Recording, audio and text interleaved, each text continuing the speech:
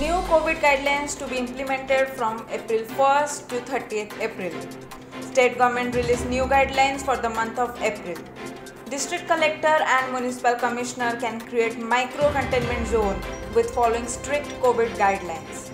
In containment zone, people are not allowed to go outside the containment zone. Door to door survey will be done by the local municipal authorities.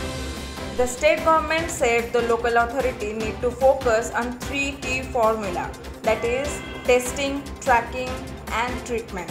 The state government also instructed to do the maximum number of RT-PCR tests. Only 200 people will be allowed to gather in marriage and 50 persons in funeral functions.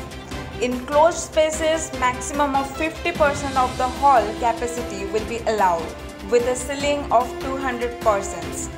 In open spaces, keeping the size of the ground in view, the district administration shall give permission for gathering. Wearing of masks, maintaining social distancing, use of hand wash or sanitizer will be mandatory and be strictly monitored by the district authority. In view of celebration of several social, religious and cultural events in different parts of the state during the month, the congregation shall not be allowed in public throughout the state.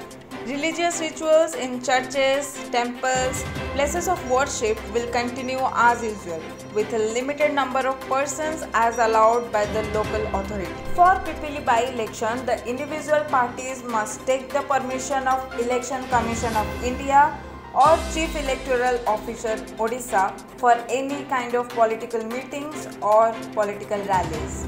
Bureau Report n9times.com Please like, share and subscribe to our channel and your comments are valuable as well.